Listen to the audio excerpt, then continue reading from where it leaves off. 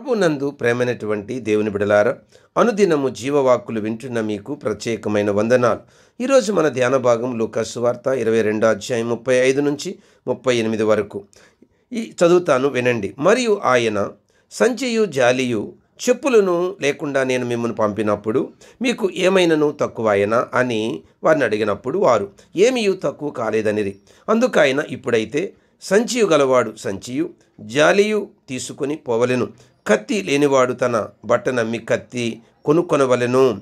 ఆయన అక్రమకారుల్లో ఒకడుగా ఎంచబడెను అని వ్రాయబడిన మాట నా ఎందు నెరవేరవలసి ఉన్నది. ఏలనగా నన్ను గూర్చిన సంగతి సమాప్తమవుచున్నదని మీతో చెప్పుచున్నానెను వారు. ప్రభువా ఇదిగో ఇక్కడ రెండు కత్తులు అనగా చాలునని ఆయన వారితో చెప్పాను. దేవుని బిడలారా మనం చదివినటువంటి ఈ భాగంలో మనము గుర్తించాల్సిన ప్రాముఖ్యమైనటువంటి విషయము ఏమిటనగా ప్రభువు తన శిష్యులతో చెప్పిన మాట మీరు ఏమీ తీసుకొని వెళ్ళొద్దన్నప్పుడు మీకేమైనా తక్కువైనయా? దీన్ని బట్టి మనం నేర్చుకోవాల్సింది ఏంటంటే మనము ఏమీ లేనప్పుడు దేవుని మీద ఆధారపడి మనము ముందుకు సాగిపోతుంటే మన అవసరాలు దేవుడు ఖచ్చితంగా తీరుస్తాడు. అయితే దేవుడు మనల్ని దీవించిన తర్వాత మనకు ఇచ్చిన వాటితో దేవ దేవుని సేవ చేయాలి. లేనప్పుడు దేవుని మీద ఆధారపడితే అవసరాలు తీరుస్తాడు. దేవుడు ఇచ్చినప్పుడు దానితో సేవ చేస్తే పరలోకంలో మన ఫలము అధికమవుతుంది. కాబట్టి దేవుని బిడలారా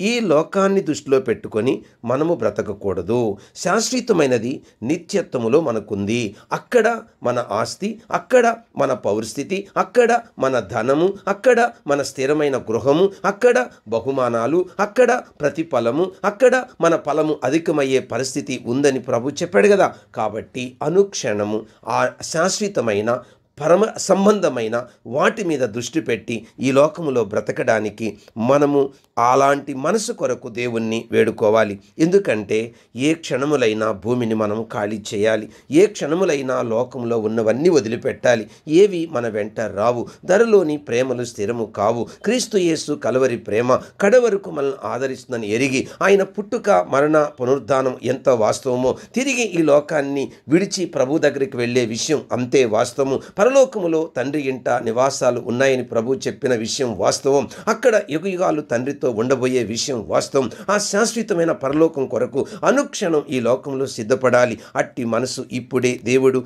మనకు దయచేయను కాక I mean God bless you all.